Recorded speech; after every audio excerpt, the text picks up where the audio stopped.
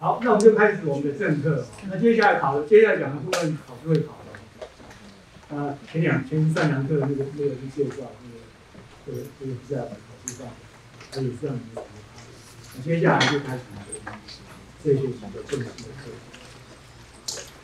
课。啊，刚开始我们先来复习一些控制系统分析设计要用到的数学工具。那这个在通通通义里面，我们用到这是最重要的数学工具，就是老 plus。那老 plus 在公数一对不对？是公数一还是公数二？公数一都就学过。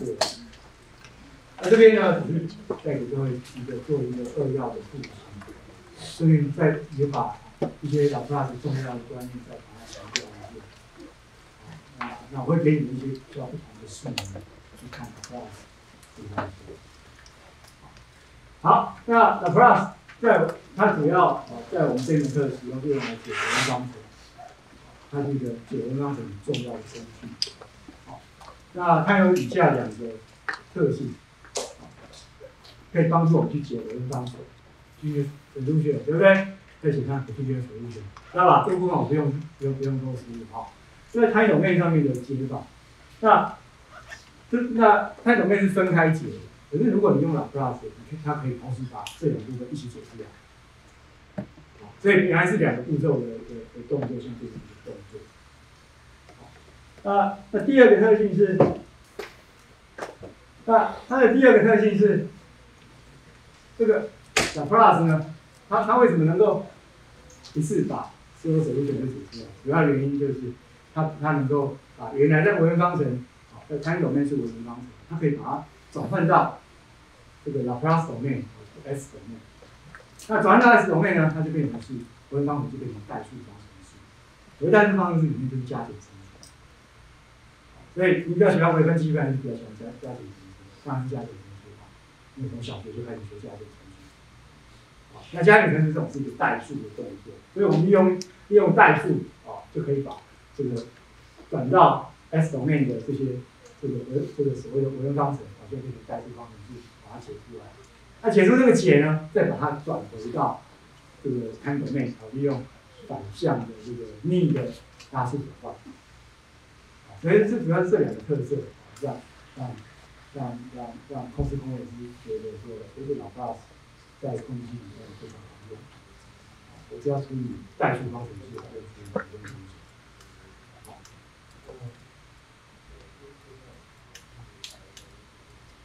好，那什么是 Laplace 呢？Laplace 是一个转换，把一个讯号转换到转换成另外一种形式。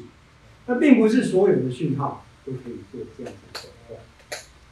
能够做 Laplace 转换的的讯号，要满足这个条件。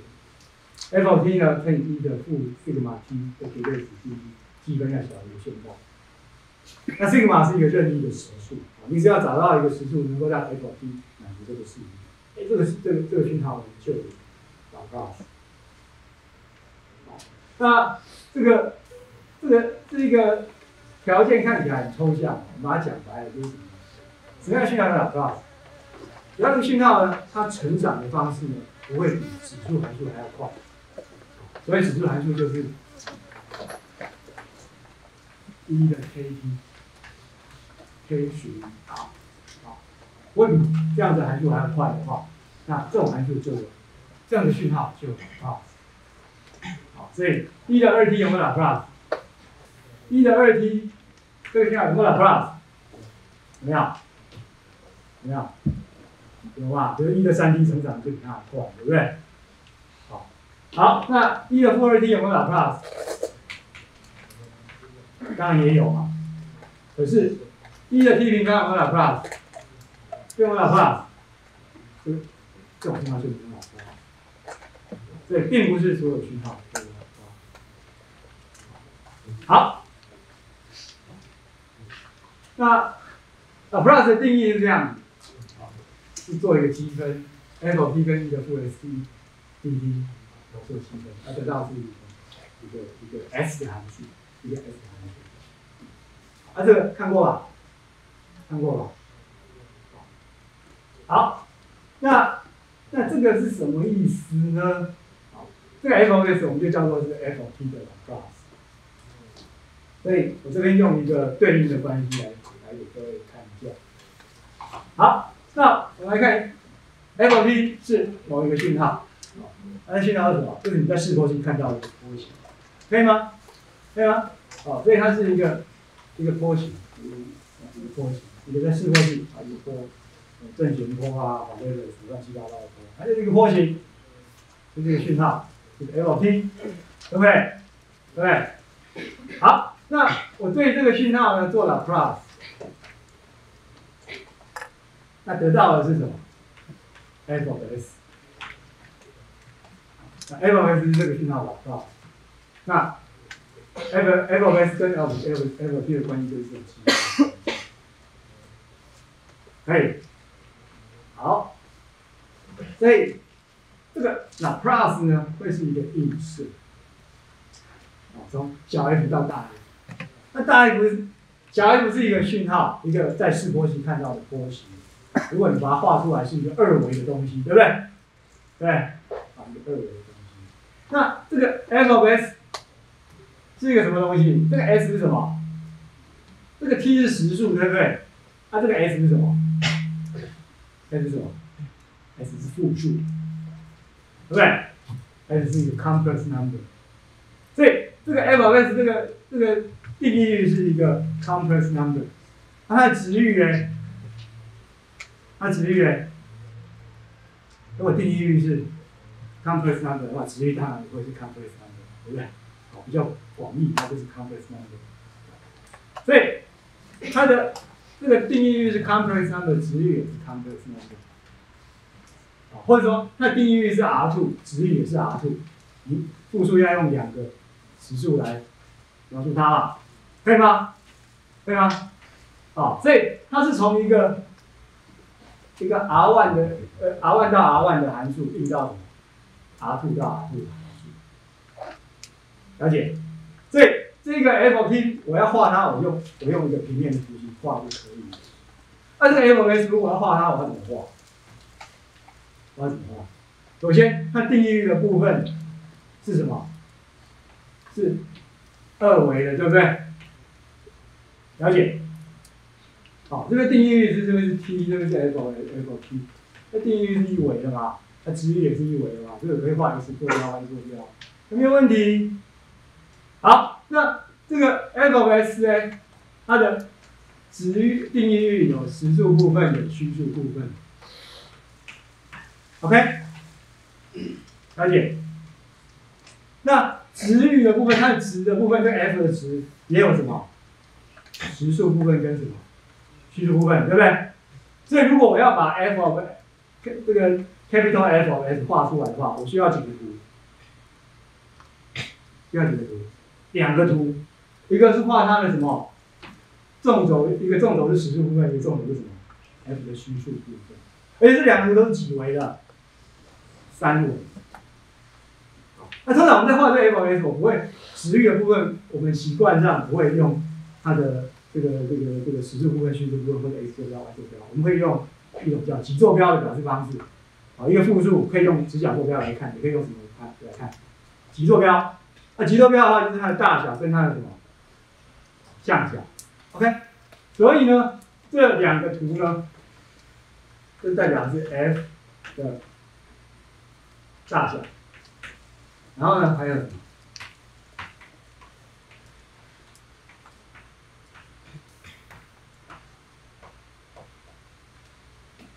？f 的角度。那这边是一个什么？三维的波形，对不对？可以想象吗？可以想象吗？好，那在在这门课里面，我要跟各位，我要让各位学习到一个东西。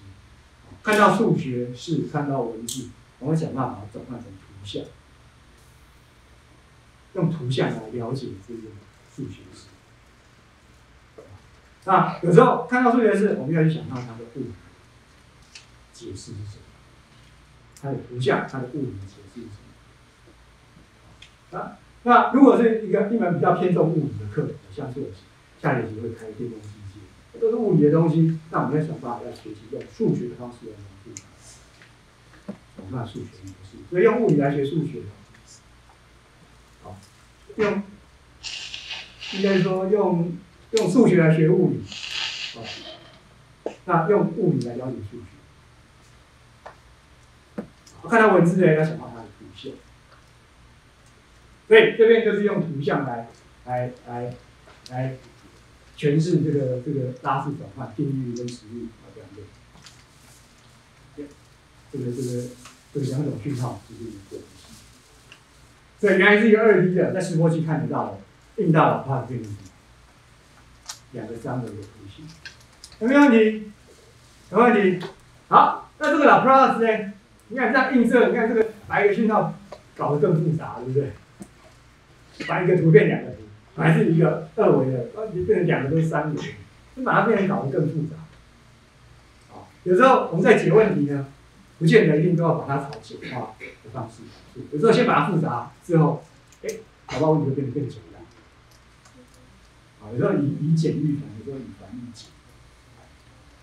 好，好，所以这个是 Laplace 定义。那另外 Laplace 还有一个。一种这个这个一种诠释是，哎，我们看这个映射，各位在国中上学到，哎，这种映射我们就把它叫做什么？函数，对不对？那函数的话，比如说这个这个 g 这个函数是从什么？实数映到实数，对不对？对，啊，所以这个 g 要 x，这个这个 x 是属于 r，那它的 g 函数值是什么？实数映到实数，所以函数的定义域是什么？是一个是数字啊，是实数或是复数，可以吗？啊，那值域呢？啊，也是数字。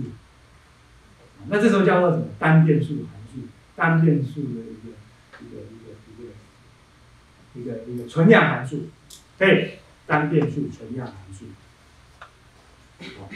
那这个你们在微积分也学到，哎，这个这个定义域有可能是 Rn，对。不定义是向量，可以吗？那这时候叫做什么？多变数函数，可以。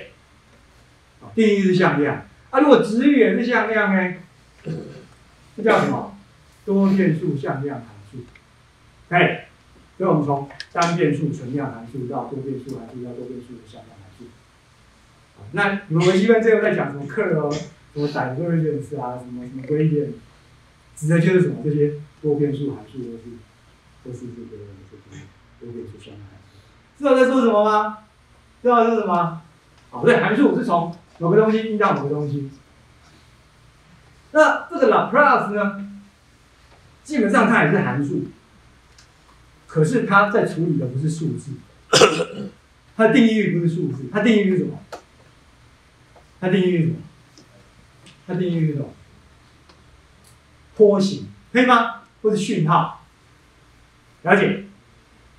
好，所以这个老 plus 比较特殊，它的定义域跟你们在微积分学到的函数的定义域都是实，这个这个实数、复数或是或是向量不一样，它的定义域是波形，或者是说它定义域是定义域是函数。对，这 f t 是什么？f t 的函数嘛？对，定义域是函数，了解？啊，所以跟这跟以往函的这个函数比起来，里面定义就是一块跟一个一个数字，那这边的定义是一个一个一个一个函数，所以这个啊 plus 呢，它就变成什么？好，我们说这个是数字，这个向量的函数，那这个啊 plus，我们可以把它称作什么？函数的函数，有没有问题？它定义是函数，值域也是函数，它从函数运到函数，从波形运到波形，对不对？啊，啊这边如果有数学系的话，这种函数叫做什么？叫做范方选的。这个故意要让它显示的比较高深一点，这样它就函数了。方选的方选后面加 a 了解？它就是函数。不过它，不过它比较特殊，定义是函数，只有函数，波形一条波形。有没有问题？没问题？可以啊。好，那再一个观念。这个 Laplace 这个映射呢，我可以把它看成是一面镜子。那我们人在照镜子，哎，我看到看到镜子里面有我，哎，那个也是我，对不对？所以映到镜子后面那个那个那个那个那个家伙也是我，没有变。我这边做什么动作，他那边就做什么动作，就跟我相反，可以吗？那一个函数或是一个波形经过 Laplace 的映射之后，映到这边的讯号，你可以把它想象就是镜子后面的东西。对，那镜子后面的东西跟这个东西实际上是怎么样？一样，了解，了解。好，这样只是一个镜子，你把你你把这个这个这个这个波形，透过镜子，啊，这个放在镜子前面，看到镜子后面的东西就是它的 house，是一模一样的东西。所以我在镜子前面做一些处理，镜子后面的讯号，实际上也做做一些处理，了解。那为什么喇叭这么好用？因为在镜子前面做处理有时候很复杂，到镜子后面会变得怎么样？很简单，很简单。好，那我们刚刚不是提到说，不是每一个波形、每一个函数都有 Laplace 吗？不等效意义相当于什么？哎，有些人这个太胖了，这个镜子怎么样？照不进去嘛？对不对？你国高中不是都有学过普物物理都有一个问题嘛？一个人高度多高，然后这样能够把它全身照，这个这个这个看得到那个镜子是达到多少？了解？而且，所以如果一个太胖的讯号，镜子就放不下。可以，那什么叫太胖的讯号？就是比指数函数成长还要快，比指数运算讯号成长还要快的讯号，这个镜子放不下，Laplace 没有办法那这时候你可以找更更大的镜子，可以寻求不同的转换。